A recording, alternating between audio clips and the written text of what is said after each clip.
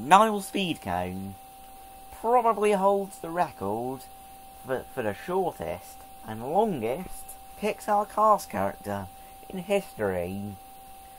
Hmm. Or at least I believe she does anyway. And uh, she is a Cars on the Road character, and uh, she, who appears in the, uh, Salt Fever episode, um, which is a episode number three, I believe.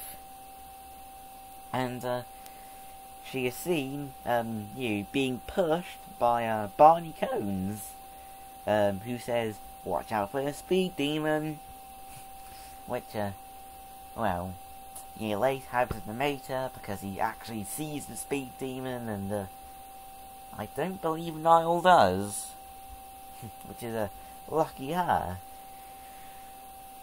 Uh, now, uh, she is obviously you. She's green with a red parachute. And a uh, fun fact about her, she is named after Cars on the Road story and editorial coordinator, Niall Cone. Let's have an in-depth, uh, you know, look at her.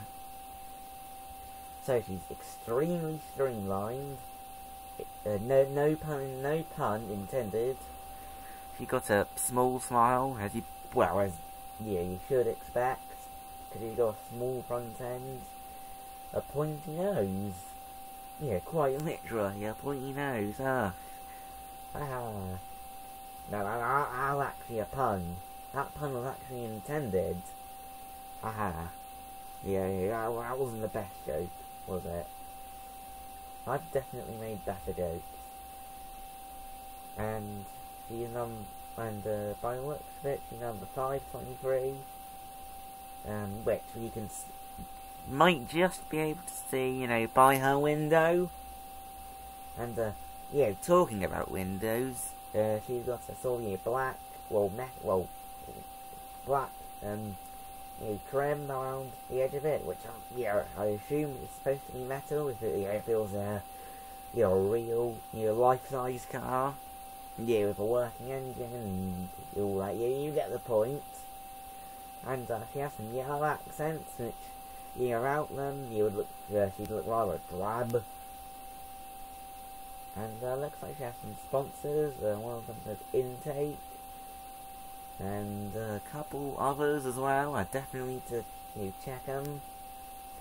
And she has a sort of, uh, this little bit here, of, yeah, at the top which, you know, reminds me a lot of, of an aeroplane. And uh, at the back, you nothing too exciting, just a red parachute, which I uh, you previously mentioned. And, oh, green base, um, and three wheels. Yeah, which definitely makes her uh, unique and, you know, not like the other Salt Flats races. Would you agree with me? I'm sure you do. Have a great day, folks!